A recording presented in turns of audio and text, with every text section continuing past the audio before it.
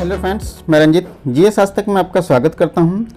दोस्तों, छियासठवीं B P S C C D BPSC, CDPO, auditor, AAO, BSSC और बिहार के अन्य एग्ज़ाम को ध्यान में रखते हुए बिहार सामान्य ज्ञान के अंतर्गत जो एम सी क्यू सीरीज़ चलाया जा रहा है, उसका दूसरा वीडियो आज मैं आप लोगों के समक्ष लेकर आया हूँ, जो क्राउन और लुसेंट सामान्य ज्ञान पर आधारित है।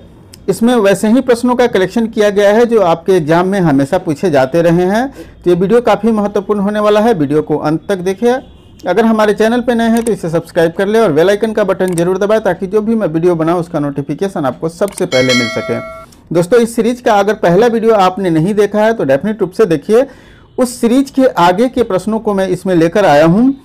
तो सबसे पहला जो बत्तीसवां प्रश्न है उसमें मैंने इकतीसवें प्रश्न तक किया था। अब इसमें बत्तीसवें प्रश्न से शुरू हो रहा है। तो बत्तीसवां प्रश्न है भा, प्राचीन भारत में साम्राज्यवाद की शुरुआत और विकास का श्रेय किसे दिया जाता है? ठीक है? प्राचीन भारत में साम्राज्यवाद की शुरुआत और विकास का श्रेय किसे दिया जाता है? तो दोस्तों प्राचीन भारत में साम्राज्यवाद की शुरुआत मगध से होती है ठीक है? तो मगध इसका सही जवाब हो जाएगा। तैतीसवां प्रश्न है महाभारत पुराणों के अनुसार मगध का सर्वप्रथम राजवंश कौन था? मतलब मगध पर शासन करने वाला सब सर, सबसे पहला राजवंश कौन था? तो ये सबसे पहला राजवंश था वेदत्त जिसके बारे में आप लोग अच्छी तरह जानते हैं, महाभारत में जरासंघ का नाम आप लोगों ने सुना होगा, जरासंघ। और वो जरासंघ जो था, वो बृहदत्त वंश से ही संबंधित था, ठीक है? तो महाभारत में भी इसका विस्तार से वर्णन किया गया है, मगध के बृहदत्त वंश का, ठीक है? चौतीसवां प्रश्न है, मगध साम्राज्य का वास्तविक संस्थापक किसे माना जाता है? मगध का वास्तविक संस्थापक किसे माना जाता है? तो दोस्तों मगध का जो वास्तविक संस्थापक है, वो हरियक वंश के बिंबिसार से माना जाता है, ठीक है? तो इसका सही जवाब हो जाएगा ऑप्शन सी, बिंबिसार। नेक्स्ट प्रश्न है, बिंबिसार एवं अजात शत्रु का संबंध किस वंश से है? तो अभी अभी हमने बता भी दिया है पिछले क्वेश्चन में कि बिंबिसार और अजात शत्रु का संबंध किस वंश से है। तो वो दोस्तों, है कौन सा? हरियक वंश। हरियक वंश से संबंधित है बिंबिसार और अजात शत्रु। नेक्स्ट प्रश्न है राजगीर में दुर्ग एवं स्तूप की स्थापना किसने की? राजगीर में दुर्ग एवं स्तूप की स्थापना किसने की? तो दोस्तों, राजगीर में दुर्ग एवं स्तूप की स्थापना अजात शत्रु के द्वारा किया गया और अजात शत्रु का संबंध किस वंश से है? ये मैंने पिछले वीडियो पिछले क्वेश्चन में बताया है, वो है हरियक वंश। ठीक है? हरियक वंश इनका संबंध है। नेक्स्ट प्रश्न है बज्जी संघ के लिच्छवियों को पराजित करने वाला प्रथम मगध शासक कौन था? तो बज्जी संघ आप लोग अच्छी तरह जानते हैं कि बज्जी क्या था? कई छोटे छोटे राज्यों का एक संघ था और बज्जी के बारे में आप लोग जानते हैं कि इसका एक संघ था लिच्छवी ठीक है? लिच्छवी और इस लिच्छवी के बारे में भी आप लोग अच्छी तरह जानते हैं और बज्जी जो संघ था, वो गणतंत्रात्मक व्यवस्था पर आधारित था, जो अच्छी तरह आप लोग जानते हैं तो बज्जी संघ को लिच्छवी के लिच्छवियों को मतलब बज्जी संघ के अंदर लिच्छवी क्या था? एक छोटा सा राज्य था। उसको पराजित करने वाले मगध शासक कौन थे? तो उसको पराजित करने वाले अजात शत्रु ही थे। ठीक है? तो ऑप्शन डी सही जवाब हो जाएगा। नेक्स्ट है, अजात शत्रु के साथ प्रेम संबंध के लिए चर्चित नर्तकी अम्रपाली कहाँ की थी? अजात शत्रु के साथ इनके संबंध को जोड़े जाते हैं अम्रपाली को, और अम्रपाली का संबंध था वैशाली से। आप लोग आम्रवन का चर्चा सुने होंगे अगर एंसेंट हिस्ट्री पढ़े होंगे तो आम्रवन अम्रपाली के नाम पर ही रखा गया था और वे वैशाली में ही था। नेक्स्ट है मग, प्रथम मगध साम्राज्य का उत्कर्ष किस शताब्दी में हुआ? मतलब मगध जो है उस साम्राज्य के रूप में कब से उत्कर्ष इसका हुआ किस शताब्दी में हुआ ये बताना है आपको। तो इसका सही जवाब हो जाएगा छठी शताब्दी ईस्वी पूर्व। ऑप्शन बी सही जवाब हो जाएगा। छठी शताब्दी ईस्वी पूर्व, जिसमें महाजनपदों का वर्णन किया गया है। आप लोग अच्छी तरह जानते हैं कि छठी शताब्दी ईस्वी पूर्व में महाजनपद का वर्णन है, और इसी महाजनपद में से एक बड़ा महाजनपद और शक्तिशाली महाजनपद कौन था? मगध था। नेक्स्ट है, चालीसवां प्रश्न है, पाटलिपुत्र नगर की स्थापना किस शासक के द्वारा किया गया है? यह प्रश्न कई बार आपके बीपीएससी से लेकर बिहार के कई एग्ज़ाम में पूछे गए हैं। तो पाटलिपुत्र की स्थापना किसके द्वारा किया गया था? उदयन के द्वारा किया गया था। ठीक है? उदयन के द्वारा किया गया था तो ऑप्शन ए सही जवाब हो जाएगा। और नेक्स्ट प्रश्न है, हरियक वंश का अंतिम शासक कौन था? हरियक वंश का अंतिम शासक कौन था? इसके बारे में बताना है। दोस्तों, हरियक वंश का अंतिम शासक कौन था? हरियक वंश का अंतिम शासक कौन था? ये था दोस्तों आ, नाग दशक ठीक है? कौन था? नाग दशक इसका सही जवाब हो जाएगा ऑप्शन सी। नेक्स्ट है हरियक वंश के बाद मगध पर किस वंश का सत्ता स्थापित हुआ?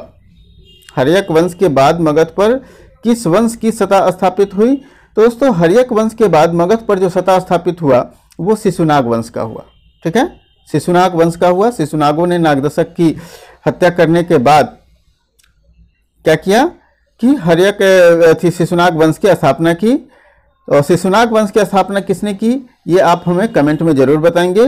नेक्स्ट है, मगध के किस शासक ने गिरिब्रज के अतिरिक्त वैशाली को भी अपनी राजधानी बनाया? गिरिब्रज का मतलब हो गया राजगीर, ठीक है? तो मगध के किस शासक ने राजगीर के अलावा वैशाली को भी अपना राजधानी बनाया था? तो इसका सही जवाब क्या हो जाएगा? ऑप्शन सी हो जाएगा शिशुनाग शिशुनाग ने क्या किया था कि राजगीर के अलावा वैशाली को भी अपना राजधानी बनाया तो ऑप्शन सी सही जवाब हो जाएगा। नेक्स्ट प्रश्न है, चौवालीसवां प्रश्न, द्वितीय बौद्ध संगति का आयोजन कहाँ और किसके शासनकाल में हुआ है? द्वितीय बौद्ध संगति, आप लोग प्रथम बौद्ध संगति के बारे में जानते हैं। डेफिनेट रूप से आप हमें बताएँगे कि प्रथम बौद्ध संगति किसके शासनकाल में हुआ और कहाँ हुआ। अभी हम बात करेंगे द्वितीय बौद्ध संगति की।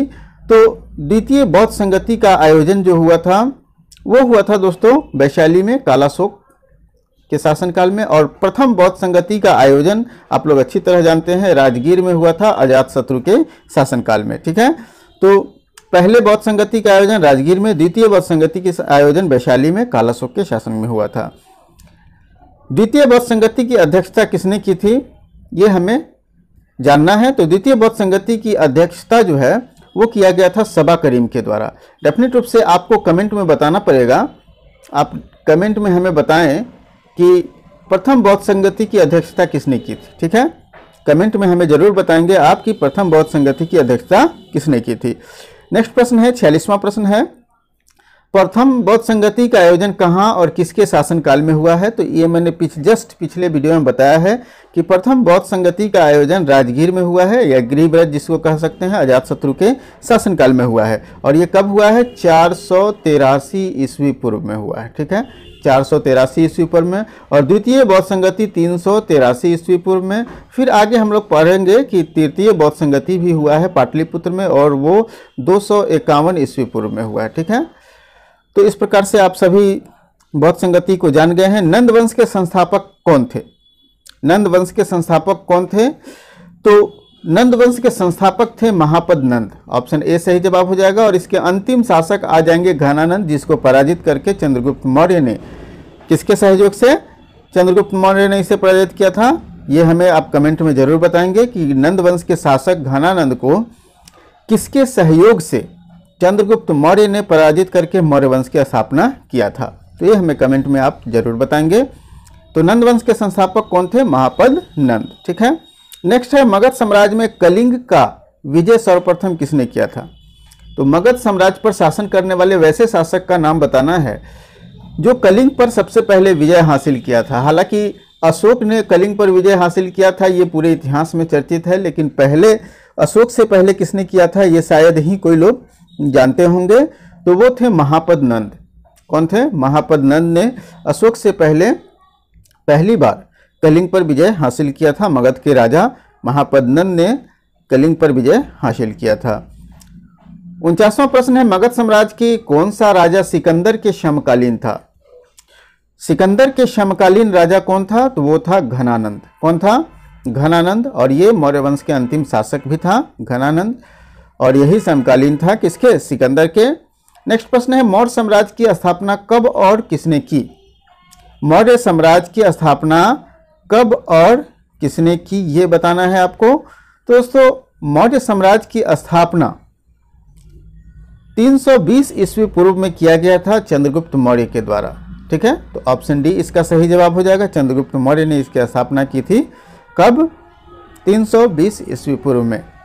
नेक्स्ट प्रश्न है, यूनानी दूत मेगास्थनीज किसके समय में पाटलिपुत्र आया था? यह भी प्रश्न आपसे कई बार पूछा गया है। और मेगास्थनीज के द्वारा एक पुस्तक लिखी गई है, जिसे आप कमेंट में बताएँगे कि इनके द्वारा कौन सी पुस्तक लिखी गई है, जिसमें पाटलिपुत्र अर्थात पटना के प्रशासन के बारे में बताया गया है।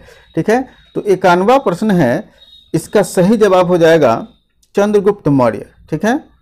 तो मेगास्थनीज जो है, वो किसके दरबार में आया था? चंद्रगुप्त मौर्य के दरबार में आया था। अब कब आया था, ये बताना है कि यूनानी दूत मेगास्थनीज पाटलिपुत्र कब आया था?